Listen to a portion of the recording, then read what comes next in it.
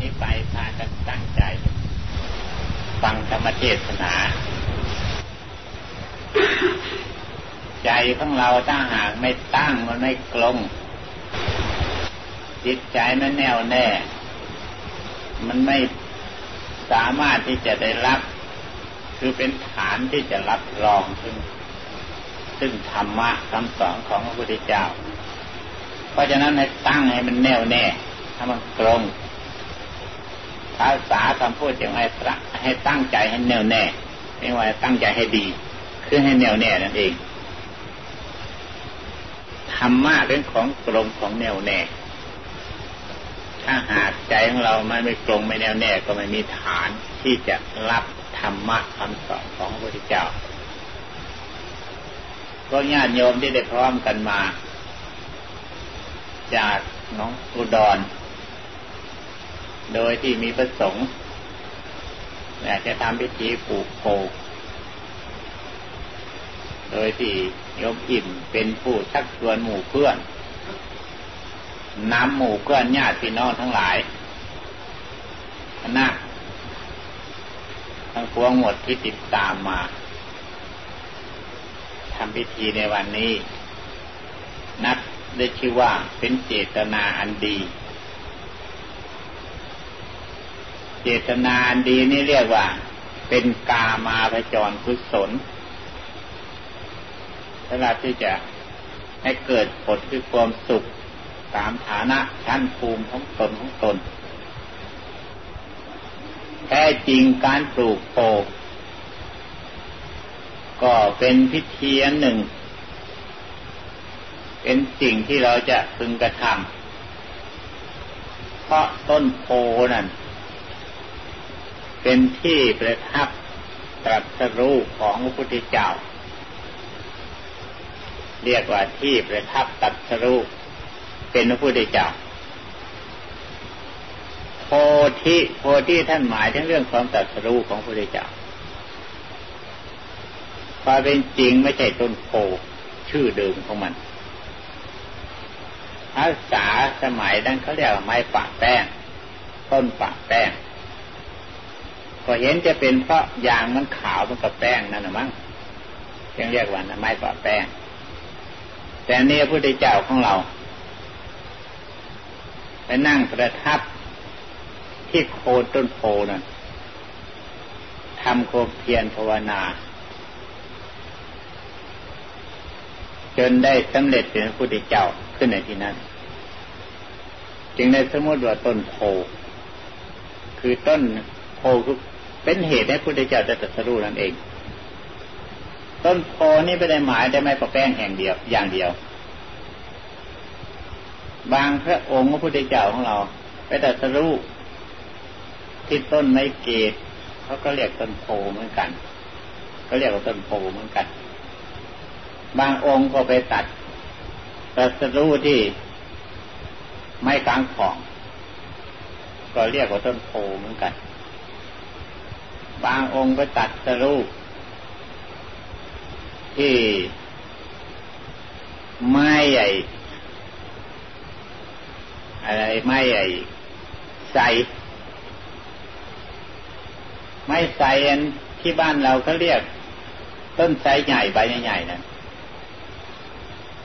หรือภาษาหนึ่งเขาเรียกไม้มณีโคตเขาเรียกว่าต้นโพเหมือนกัน พระพุทธเจ้าสุดแล้วแต่พระองค์ใด จะไปนั่งประทับตัดรูนต้นไม้อันใด ต้นไม้นั่นเขาเรียกว่าต้นโพคือหมายความในการตัดรูของพระพุทธเจ้าในต้นไม้ต้นนั้นนั่นเองพระพุทธเจ้าของเราว่าตัดสรูที่ต้นไม้ปากแป้งคือต้นโพอย่างที่ที่พวกเราพากันเคยก็อยู่เดี๋ยวนี้ที่พระพุทธเจ้าตรัสรู้ก็ดี ที่พระพุทธเจ้านิพพานก็ดี ที่พระพุทธเจ้าตรัสเทศนาก็ดี เรียกว่าสถานที่ทั้งหลายเหล่านั้นท่านเรียกว่าเจดี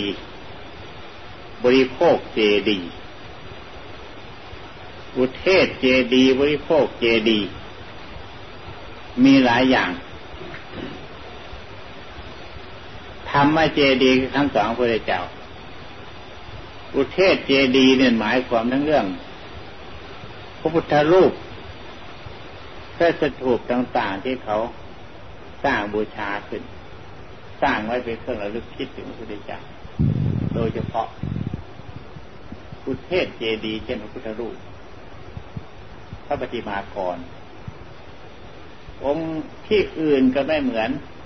ที่เขาสร้างขึ้นเหมือนเหมือนกับพระพุทธเจ้าคือผู้ใดกราบไหว้พระพุทธรูปแล้วก็อุทิศถึงว่าจิตใจส่งถึงพระพุทธเจ้า ส่วนบริโภคเจดีนั่นหมายถึงเรื่องที่ตัดสรูปหรือที่พระพุทธเจ้าตรัสเทศนา หรือว่าที่พระพุทธเจ้าพระนิพพานมิฉะนั้นก็เครื่องบริขารต่าง ๆ ที่พระพุทธเจ้าท่านใช้ที่พระองค์ใช้นั่นเรียกว่า บริโภคเจดี จะเป็นอุเทศเจดีก็ตามบริโภคเจดีก็ตาม ธรรมเจดีก็ช่างความหมายก็คือต้องการเห็นสิ่งทั้งหลายวัตถุทั้งปวงเหล่านั้นแหละ แล้วก็นึกน้อม ถึงคุณพระพุทธเจ้าต้นโพที่พวกเราพากันปลูก นิยมปลูกกันมาตั้งสมัยโบราณกาลก็เพื่อจะได้สักการะบูชาเข้าไปถึงในที่นั้นแล้วก็กราบไหว้และลึกถึงคุณพระพุทธเจ้า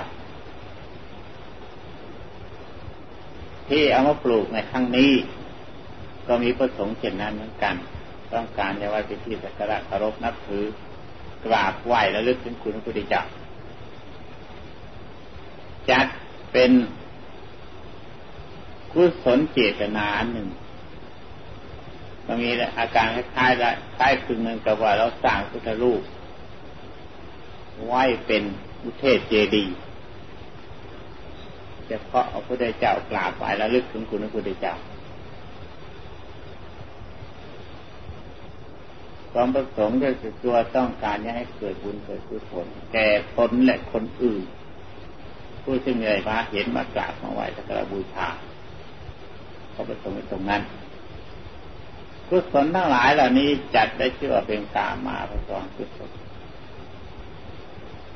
แต่บางคนเห็นว่ากามาพระจรกุศลเป็นของต่ำเตี้ยไม่สามารถที่จะยกตนให้พ้นจากวัฏสงสารคือถึงมรรคนิพพาน ก็เลยไม่อยากทำบรรดานักปราชญ์ทั้งหลายผู้ที่ท่านมีปัญญา บุญกุศลอะไรก็ตามเถอะที่ที่เกิดขึ้นในภายในจิต จะเป็นของมากของน้อยสะสมทั้งนั้น พระพุทธเจ้าที่จะตรัสรู้ก็ได้สะสมบุญทั้งหลาย มีทานศีลเป็นต้น ดังบารมีสิทธัตสะสมไว้มากมูล แล้วจึงไปได้ถึงซึ่งมรรคผลนิพพานคือเป็นพุทธเจ้าท่านไม่ประมาทนักปราชญ์ทั้งหลายไม่ประมาทคุณงามความดีจะมากน้อยสะสมในการทั้งนั้นนี่เหมือนคนบางสมัยหรือบางคน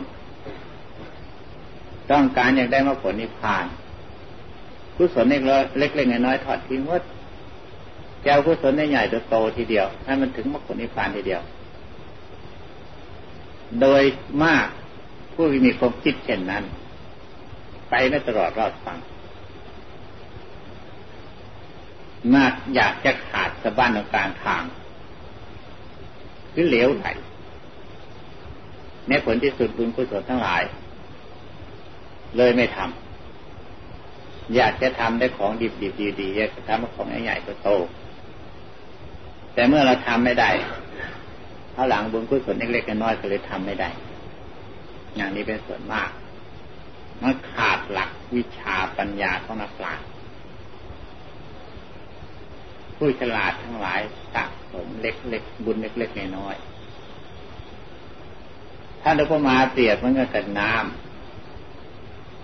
ซึ่งหยดจากใส่ขาตกมาเป็นเม็ดเล็กๆน้อยๆทีละหยดละหยด ถ้าหากว่าของรองเป็นตุ่มไปช่างโอ่งกระตาลองอยู่ข้างล่างหากว่ามันไม่ทะลุไม่รั่ว มันก็มีวันที่จะติ่มได้ ความข้อนั้นเป็นจริง ผู้หวังคุณงามความดีผู้สร้างคนคุณงามความดีแล้วไม่เกิดความประมาท มีมากมีน้อยก็ต้องสะสม ถ้าจะเปรียบเทียบที่จะเห็นได้กันง่าย คนผู้แสวงหาทรัพย์ จะหาได้มากและน้อยในการสะสมทั้งนั้น ไม่ใช่ดอดธุระขอแต่ให้ได้เลยก็แล้วกัน วันหนึ่งจะได้เก้าบาทสิบบาทสักช่างจะได้สองบาทสามบาทหรืออัตตางก็ตาม สะสมของเล็กๆน้อยๆแบบนี้ที่จะมั่งมูลบริบูรณ์ เป็นคนมีคนรวย ดังเราพากันทราบกันอยู่แล้ว ในเมืองไทยของเราพวกเป็นอาเซียและเศรษฐีใหญ่ๆหาบของขายตามตลาด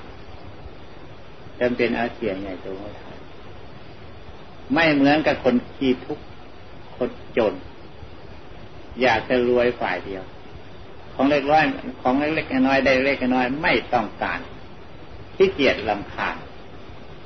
อยากจะได้แต่ของมากๆใหญ่ๆโตอย่างทุกวันอย่างนี้ที่ปรากฏกันอยู่ถ้าสมเงินเล็กๆน้อยไม่พอใช้พอสอย ไม่พออยู่พอกินเกียจลำคาญต้องการก้อนใหญ่ๆโตๆไม่มีหนทางที่จะได้ เห็นทางเดียวป่องช่องเดียว ก็คือเบอร์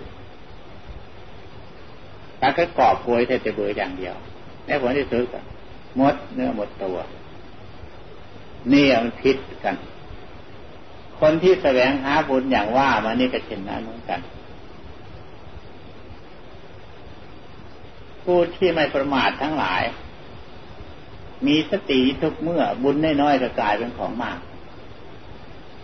คุณงานคนดีเล็กน้อยก็กลายเป็นของใหญ่โตขทาง ถ้าผู้ประมาทแล้วของมากเลย เห็นเป็นของเล็กน้อยดังอธิบายมานะเพราะฉะนั้นแหละ เราหัดนิสัยและจิตใจของเราให้เป็นนักปราชญ์ให้เป็นคนฉลาดหาคุณงามคนดี คุณงามคนดีมีในที่ทั่วไป ถ้าผู้ฉลาดแล้ว ทำอะไรก็ตามเถอะ หากเป็นไปเพื่อคุณงามความดีแล้ว จะพยายามทำทุกทุกวิธีทาง ดีกว่าที่เราจะปล่อยจิตใจของเราให้ประมาทเลินเลิกอยู่ตลอดวันข้ามคืนลุกผู้มีสติแล้ว จะต้องคิดนึกถึงตัวอยู่ตลอดเวลาว่าเราเป็นคนจน จนอะไรคือจนคุณงามความดี จนอะไรคือจนความบริสุทธิ์หมดจด จนอะไรคือจนบุญกุศลเห็นตนเป็นคนจนตลอดเวลา ลองคิดดูมีตรงไหนเราที่เป็นคนมีคนรวยนั้นรวยตรงไหนกันวันหนึ่งวันหนึ่งนั้น ความดีมีอะไรบ้างเกิดขึ้นในตัวของเรา ความชั่วกับความดีมาลบล้างกันลองดูสิละกันเหลือไหมวันหนึ่งวันหนึ่ง ตั้งแต่ตื่นนอนละกระทั่งข้ามมืดจนเข้านอนอีกทีหากว่าจดจำไม่ได้แล้วจะเอากระดาษมาบันทึกไว้ก็ได้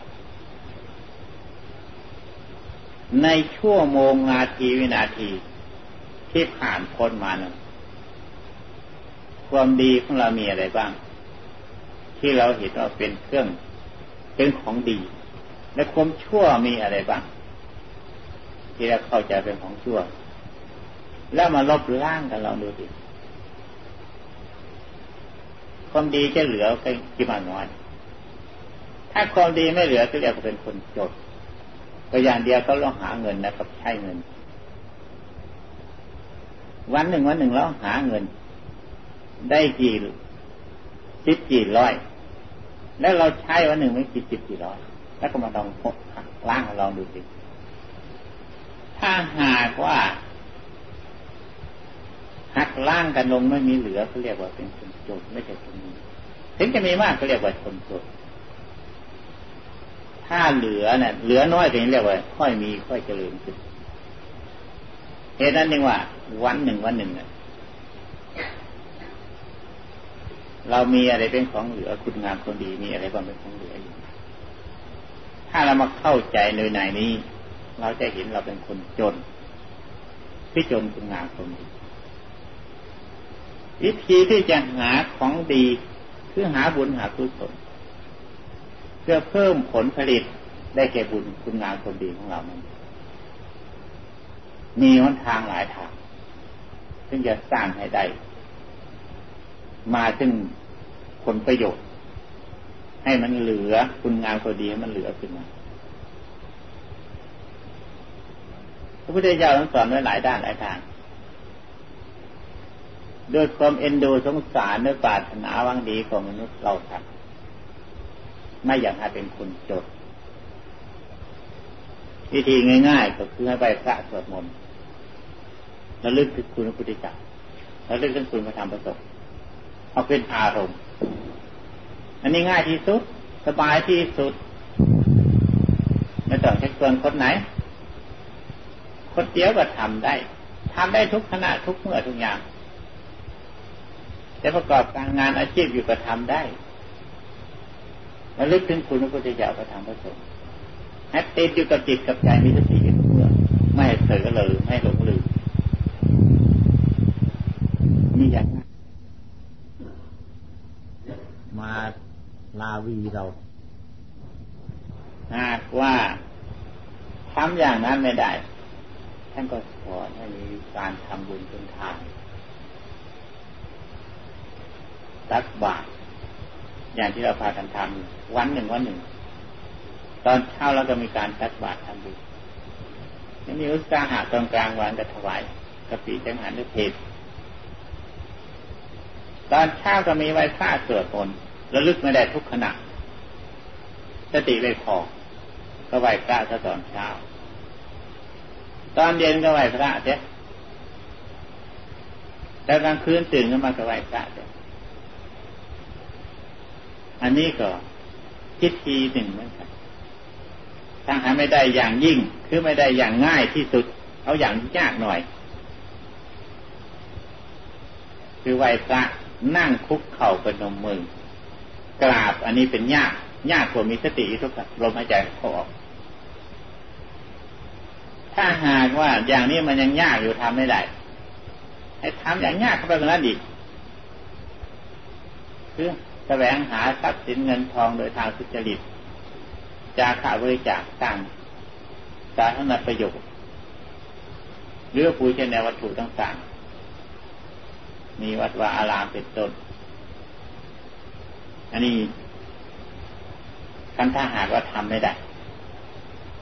ให้ทำอย่างหยาบลงไปกว่านั้นอีกหยาบลงไปกว่านี้แล้วไม่มีหนทาง ไม่มีทางเลย เนี่ยพระเจ้าเรื่องสอนสอนหลายด้านหลายทางนะอย่างละเอียดทำได้ง่าย อย่างกลางนั่นทำค่อยลำบากถึงหน่อย อย่างไหว้พระกับพระ เช้าเย็น นี่ทำยากสักหน่อยอย่างหยาไปกว่านั้นอีก หาสมบัติเข้าของเงินทองและสิ่งวัตถุใดๆก็ตาม โดยทางที่จะดีมันได้หามาแล้วก็ทำบุญทุนทานอย่างที่ทำกันอยู่ทั่วไปมีด้วยความสงสารมนุษย์ชาวโลกพระองค์จึงสอนให้หาคุณงามความดี สร้างคุณงามความดีไว้ให้เป็นกำไรกับชีวิตของตน ลองคิดดูค่ะนี่คนเรา ถ้าหากอย่างละเอียดก็ไม่ได้อย่างกลางก็ไม่มีอย่างหยาบก็ไม่ปรากฏเลย อยู่เพื่ออะไรคะนี่อยู่เพื่อกิน กินก็เพื่อตาย กินเพื่อไว้ตาย มีชีวิตอยู่ก็อยู่ไว้กิน ไม่ใช่อยู่เปล่าอยู่ ไม่กินไม่ได้ มันต้องกินนี่ก็อยู่ได้ จะไปอยู่ให้ท้องแห้งเฉยๆนั่นอยู่ไม่ได้ต้องตายคนนะอยู่มันก็ต้องกินกินมันก็ต้องเบียดเบียนคนอื่นเบียดเบียนต้นสาระสิ่งเบียดเบียนต้นไม้พักอย่างเบียดเบียนเขาทั้งหมด คนเราเกิดขึ้นมาหาเบียดเบียนเขาแท้ๆทีเดียวปากท้องอันนี้แหละเบียดเบียนเขาอื่นเบียดเบียนสิ่งอื่น สัตว์ในป่าในโลกมันไม่มีเหลือก็เพราะคนเราเบียดเบียนเพราะเพื่อปากเพื่อท้องปูปลาอยู่ในน้ำมันไม่มีเหลือทุกวันนี่ก็เพราะเบียดเบียนของพวกมนุษย์คนเราเบียดเบียนเพื่อปากเพื่อท้องนะ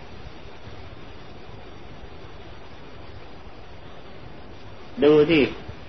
พักหน้าห้าที่อยู่ในป่าในรกจะไม่มีเหลือหรอพักกูดพักหนาวสมัยก่อนไม่อดไม่อยาก พักหวานในป่าในโคกเขาไม่อดไม่อยากเดี๋ยวนี้จนหาจะเด็ดก็ไม่มี แล้วก็คนมันเบียดเบียน ไม่ใช่แต่ไปเด็ดเอายอดแล้วนั้นเอาใบมากินเท่านั้นยังไปขุดยังไปขุดตาขุดเงาทำเป็นไร่เป็นนาปลูกเพื่อผลอย่างอื่นต่อไปอีก แม้ที่สุดเป็นดิน ก็ไปขุดแล้เผาอิฐหิน ลองคิดดูสิ เบียดเบียนเขาตลอดหมดทุกสิ่งทุกอย่างคนนั้นแล้วมันได้อะไรล่ะ ถ้าไม่มีคุณงามความดีแล้วมันได้อะไรนี่จะเบียดเบียนเขาถ่ายเดียวนี่ยังว่าอยู่อยู่เพื่อกิน กินเพื่อตายเขาไม่กินเพื่อตายแล้วกันเอาเถอะเขาจะรุ่มรวยกินนี่อะไรก็กิน วันหนึ่งสามเวลากินไม่ขาดตบขาดปากเลยตลอดวันข้ามคืนรุ่งก็เอาเถอะมำรุงมำเลอไปเถิดทั้งร่างกายอันนี้แต่อ้วนท้วนสมบูรณ์บริบูรณ์สักเท่าไรก็ตามเถอะก็มีวันหนึ่งจะต้องตาย เพื่อท่าวันนั้นแหละกินเพื่อท่าวันนั้นแหละวันมันจะตายแล้วนะเรียกว่ากินเพื่อตาย หาก เราไม่สร้างคุณงานความดี ในระยะที่กำลังกิน เพื่ออยู่ ในระยะที่เราอยู่เพื่อตาย ในระยะนี้เราไม่สร้างคุณงานความดีไว้ไม่มีประโยชน์เลยนอกจากไม่มีประโยชน์แล้วก็มีแต่เบียดเบียนคนอื่นสิ่งอื่นดังที่อธิบายมานะถ้าหากเราเข้าใจโดยในนี้แล้วนั้นเราจะเป็นผู้ไม่ประมาท เราสามารถจะสร้างคุณงามความดี ให้มีขึ้นในตนทุกขณะทิริยาบทยืนเดินนั่งนอนจะเห็นคุณค่าที่พระพุทธเจ้าสอนให้เรามีภาวนาสมาธิ มีสติทุกลมหายใจเขาออก ให้เห็นคุณงานของดีของตนอยู่ตลอดเวลา จะเห็นคุณค่าขึ้นมาทันทีทันใดทีเดียวเนาะอ๋อเป็นอย่างนี้เองที่พระพุทธองค์สอน แล้วจะเห็นคุณพระพุทธเจ้าอย่างลึกซึ้งทีเดียว ว่าโถองช่างคิดช่างค้นช่างพิจารณา ให้คนสร้างคุณงานความดี ละเอียดละออถี่ถ้วนเอาเสียละปืนเราไม่ใช่ญาติวงของพระโตทำไมพระองค์จึงมาสอนเราถึงขนาดนี้พุทธองค์กับเรานั้นไกลกันแสนไกล อยู่คนละโลกละชาติกันทำไมถึงจะสอนให้เรา ถึงขนาดนี้หวังดีเพื่อประโยชน์แก่เราแท้ๆทีเดียว ไม่ใช่ทางได้อะไรกับเรา การที่คิดค้นเห็นผลประโยชน์ ตามธรรมคำสอนพระเจ้าดังที่อธิบายมานี่นะจะเป็นคนถึงคุณพระคือถึงคุณพระพุทธเจ้านั่นระลึกถึงคุณพระพุทธเจ้าแท้ทีเดียว เห็นพระธรรมคำสอนพระเจ้าโดยชัดเจนทีเดียวว่าพระธรรมคำสอนพระองค์ เป็นนิยาในกระทำสอนคนในเป็นคนดีขึ้นโดยลำดับนำคนในพ้นจากทุกข์ได้จริง และจะเห็นคุณเขาก็ทำว่าแนะนำคำสอนได้ตักเตือนไม่ให้เราทำความชั่ว ก็ทำเหมือนกับจะเป็นศาสดา เหมือนกับเป็นครูเป็นอาจารย์ คอยพร่ำสอนให้เราทำความชั่วความผิดทุจริตต่างๆ ให้เราประมาทตั้งเถอเหมือนกับที่เลี้ยงรักษาเด็ก เหมือนกับมารดารักษาบุตร จะต้องช่งเลือมตาอยู่ทุกขณะอริยาบถจะยืนเดินเหินไปมานั่งนอนด้วยประการต่างๆกลัวลูกกลัวเด็ก จะทำความผิดหรือพัดตกหกล้มและความเจ็บช้ำปวด ระบบโดยประการต่างๆพระธรรมที่มีสติรู้ตัวอยู่อย่างที่ว่านี้นะนั่นแหละคือตัวพระธรรมนำท่ำสอนตัวของเราอยู่ตลอดเวลาไม่เราประมาทเนี่ยผิดกันตรงที่ว่าพระธรรมคืออยู่ที่ตัวที่ตัวสติ พี่เลี้ยงที่พี่เลี้ยงก็ดี แม่ก็ดี เป็นคนละคนกับตัวของเรา แต่ความประสงค์อันเดียวกัน คือไม่ให้เราทำความชั่ว ไม่เราพัดพระไม่ให้เราพัดตกหกล้มไม่เราเกิดอันตราย ไม่เราทำความชั่วความประสงค์อันเดียวกันพระทำอยู่ที่สติ ควบคุมจิตใจตลอดเวลาเหตุนั้นพระธรรมยังสอนคนได้ทั้งโลก ไม่เหมือนพระเจ้าของศาสนาศาสนาคิดเตียนพระเจ้าศาสนาคิดเตียนนั้นคุมคนสอนรักษาคนเหมือนกับพ่อแม่ เลี้ยงลูกหรือพี่เลี้ยงลูกเออพี่เลี้ยงพี่เลี้ยงนางนมเลี้ยงเด็ก ถ้ามามากคนนั่นก็ยุ่งใหญ่ลำบากจะต้องควบคุมคนอื่นพระเจ้าของศาสนาคิดเตียนก็ต้องคุมคนอื่น รักษาคนอื่นช่วยคนอื่นส่วนศาสนาพระเจ้าไม่อย่าง แต่ละคนละคนว่าทำเกิดขึ้นมาแล้วคุมตนเองรักษาตนเองสบาย พระเจ้าไม่ต้องมาห่วงกบุตรเห็นนั้นศาสนาพระเจ้ายังจะศาสนาสลักศาสนาไม่มีอุปทานสอนให้แต่ละคนคุมตนเองรักษาตนเอง สติอสติประยตังอันโยนยังวิโสทะเยนี่ความบริสุทธิ์มันบริสุทธิ์เฉพาะตนเองเท่านั้น คนอื่นไม่สามารถจะมาชนะตนของตนได้เลย ถึงแม้จะถึงมรรคผลนิพพานคนอื่นอย่างว่าปัญากรให้ก็ไม่ได้ให้ก่อนด้วยตนเองคนอื่นพยากรเหลวทั้งนั้น ไม่เป็นของจริงนอกจากพระเจ้าแล้วไม่มีใครพยากร จึงเป็นของหน้าปฏิบัติทำคำสอนพระเจ้าจึงเป็นของหน้าที่จะฟังและสดับสับฟังและหน้าคิดพิจารณา หน้าเอามาไว้เป็นสรณะที่พึ่ง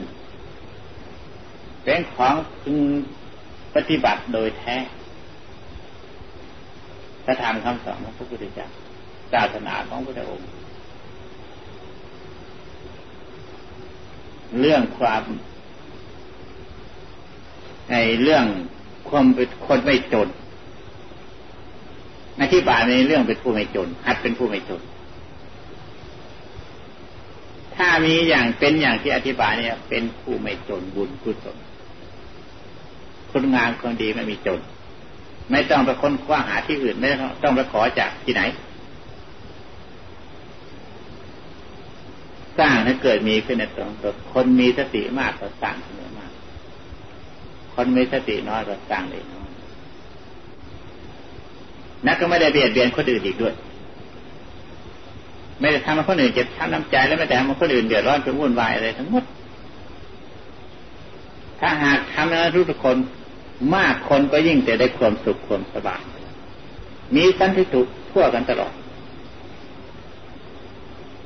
ไม่ไปเครื่องเบียดเบียนที่กันนะครับอย่างชาวโลกที่พากันหากินหรืออย่าง เรากินเพื่ออยู่อยู่เพื่อตายอย่างอธิบายนะอันนั้นเป็นเรื่องเบียดเบียนกันในการนะเบียดเบียดเบียนสิ่งอื่น อันนี้เปล่าไม่มีเลยเบียดเบียน อะไรไม่มีทั้งนั้น นอกจากจะเบียดเบียนกิเลสของตนซึ่งฝังอยู่ภายในใจ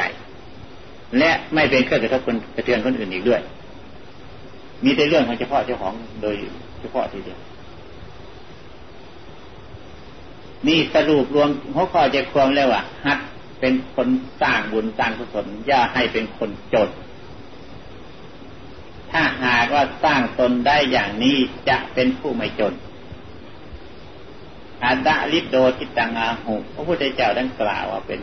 เป็นอาดาลิศคือเป็นคนไม่จนจะเป็นคนรวยบุญกุศลจะตลอดกาลเวลา คุณงานคนดีมีขึ้นในจุดใจของตนปรากฏขึ้นในใจของตนแล้ว และชื่อว่าเป็นเศรษฐ บุญ เป็นมหาเศรษฐีบุญกุศลอยู่ในโลกนี้เป็นผู้ไม่จนละโลกไปแล้วก็เป็นผู้ไม่จน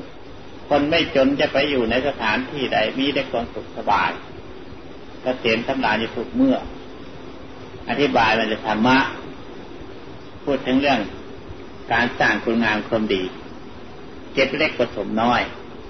ให้จนกระทั่งฟอกคูณมากมูลขึ้นมาจนเป็นคนไม่จน อธิบายมาโดยในที่อธิบายมานี้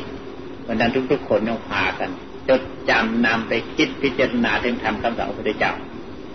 แล้วปฏิบัติอยู่ในประมาทและตามภูมิประมาทก็สามารถจะให้เห็นผลประโยชน์คือความสุขความเจริญงอกงามเข้ามาในตนดังอธิบายมา